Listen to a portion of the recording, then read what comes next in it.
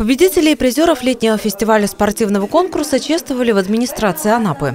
Всего сказать большое спасибо за ваш активный в общем, образ жизни, за то, что вы даете своим участием в данном комплексе ГТО пример молодым, на вас действительно равняются. Нормы ГТО сегодня – тренд времени. Памятные медали и грамоты вручили 30 участникам фестиваля. Школьники, воспитатели, учителя, специалисты администрации, водители, пенсионеры – каждый в своей возрастной ступени прошел проверку на силу, гибкость и скорость. Любой житель города может также принять участие в тестировании. Для этого необходимо обратиться по адресу город Анапа, село Супсех, улица Советская, 44.